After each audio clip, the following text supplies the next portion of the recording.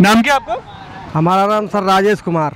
अच्छा बॉर्डर पर जो हालात हैं उनके बारे में तो जानते होंगे। हाँ सर। अब क्या लगता है अब क्या लड़ाई युद्ध हो ही जाएगा इस बार? भाई हमारे हिसाब से तो पाकिस्तान के ऊपर दबाव बनाया जाए। और दबाव बनाने के साथ साथ जो है पाकिस्तान को करारा जवाब देने की कोशिश की जाए। पाकिस्तान ये जो हरकतबाजी कर रहा है अच्छी चीज़ नहीं है। बनाएँगे कैसे दबाव? दबाव तो बनाया जा सकता कोई बहुत बड़ी चीज़ नहीं है। क्योंकि पाकिस्तान वैसे भी पस्त है घबराया हुआ हुआ है। लेकिन पाकिस्तान अब पहले अपने विमान भेजता है बॉर्डर पर। हाँ, हाँ। खदेड़ देते हैं भाई खदेड़ इसीलिए देते हैं कि भारत उससे ताकतवर देश है ना। भारत भारत से थोड़ा लड़ पाएगा वो। तो शांति की बात कर रहे हैं। हाँ। भारत किस भारत से पंगा नहीं ले सकता पाकिस्तान। भाई पाकिस्तान छोटा देश है। हाँ वो कितना भी कोशिश करेगा लेकिन फिर भी नाकाम रहेगा वो। अच्छा एक चीज़ बताइए अब क्या लगता है? मोदी जी शांति की बात करेंगे? क्योंकि पाकिस्तान मोदी जी शांति की बात तो करेंगे भी और लेकिन वो है अपनी सेना हटाएँगे नहीं वहाँ से। इसलिए नहीं हटाएँगे कि वो जानते हैं कि समझौता करने के पश्चात बाद में वो हरकतबाजी कर सकता है। पाकिस्तान की दोहरे रवैये से वाकिफ होंगे हाँ हाँ जी सर। क्या लगता है आपको इस बार? आपको क्या लगता है? क्या होना चाहिए वहाँ पे हालात? बस हिंदुस्तान को अटैक बोलना चाहिए पाकिस्तान को मिटा देना चाहिए। बस इतना ही बोलना चाहता हूँ। और पाकिस्तान अपनी हरकतों से बाज नहीं आ रहा है। बार बार उस पर हमला कर रहा है हिंदुस्तान के आर्मी पे। और बस मैं इतना ही चाहता हूँ एक हिंदुस्तानी के नाते। हिंदुस्तान जिंदाबाद और पाकिस्तान के अच्छा एक चीज़ एक चीज़ बताइए मुझे। चलिए हम बातें लगातार कर रहे हैं लगातार बोल रहे हैं कि ये होना चाहिए वो होना चाहिए लेकिन कहीं ना कहीं जब युद्ध होता है तो कहीं ना कहीं हालात जो है दो दोनों जगहों पे जो है आप काबू से बाहर रहते हैं। तो ऐसी परिस्थितियों में कहीं ना कहीं मोदी सरकार के दिमाग में भी चल रहा होगा कि युद्ध नहीं करते हैं। अब शांति से बात करें। मोदी सरकार ये जानती है कि जो तुम्हारा देश है इसी देश में गद्दार बसे हुए हैं। अगर वो गद्दार चाह ले तो कोई परिंदा पर नहीं मार सकता हिंदुस्तान के अंदर। यहाँ का ही आदमी घुसपैठ लोगों के घरों में बैठे हुए हैं लोग। इसी चक्कर से जो है भारत को ये सिस्टम झेलना पड़ रहा है और नुकसान उठाना पड़ रहा है। अच्छा हमारे जो एक पायलट हैं वो उनके कब्जे में है अभी फ़िलहाल। तो कहीं ना कहीं उस उनके ज़रिए जो है उनको मोहरा बनाकर भी पाकिस्तान जो है कोशिश करेगा। ऐसा है सर मोदी जी ने साफ़ बोल दिया है। कि अगर पायलट को हमारे हेलीकॉप्टर कुछ हुआ वो हमें सीधे सही सलामत सौंपा जाए। अगर ये कुछ हरकतबाजी करते हैं तो उस पर जो है सरकार जो है सख्त कार्रवाई करेगी इनके ऊपर। अच्छा मसूद अजहर की बात कर लेते हैं। मसूद अजहर को लगातार जो है वैश्विक आतंकी कहने की बात करते हैं। लगातार बोलते हैं कि वैश्विक आतंकी होना चाहिए। आज एक बार फिर से जो है मांग की गई है उसकी जो यूनाइटेड सुरक्षा परिषद है उसमें बात की गई है। लेकिन चीन अड़ंगा डाल देता है उसमें कहीं ना कहीं। चीन अड़ंगा इसलिए डाल देता है कि भाई चीन ये चीन तो भारत के खिलाफ हमेशा रहता है। ये तो हर दुनिया जानती कोई बड़ी बात नहीं है। हाँ चूँकि भारत की आर्थिक व्यवस्था मज़बूत हो रही है वो भी उसको देखा नहीं देख जा रहा है चीन को।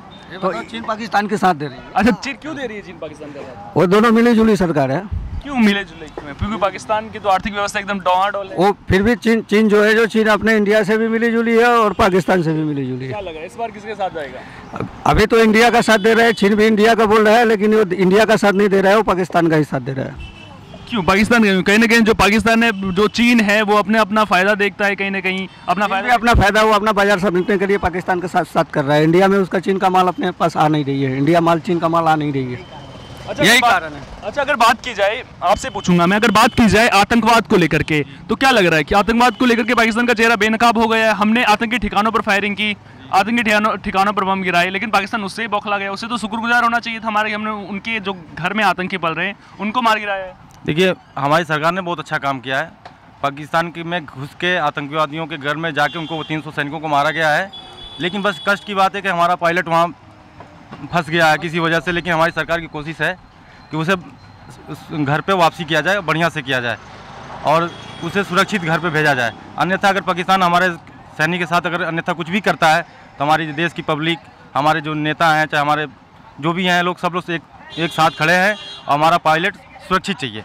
अच्छा एक चीज़ और मैं आपको बता दूँ कि हमारे पायलट को तो वो कुछ कर भी नहीं सकते हैं। क्यों नहीं कर सकते हैं? क्योंकि एक जेनेवा संधि आ जाती है, शायद आप लोगों को पता नहीं होगा उसके बारे में। उसमें क्या हो जाता है कि कुछ शर्तें हो जाती हैं। अगर सैनिक को बंदी बना लिया जाता है तो उसको सुरक्षित रखना होता है। वो जो दुश्मन देश होता है, उसकी ज़िम्मेदारी होती है। लेकिन पाकिस्तान जिस तरह से फ़ोटो वायरल कर रहा है जवान की तो कहीं ना कहीं वो पहले से उस संधि को तोड़ रहा है और वहाँ पर कहीं ना कहीं सवाल खड़े हो रहे हैं कि पाकिस्तान जो है, मानेगा तो नहीं। ये एयर एयर स्ट्राइक से भी मानता हुआ नज़र नहीं आ रहा है। इलाज क्या है पाकिस्तान का?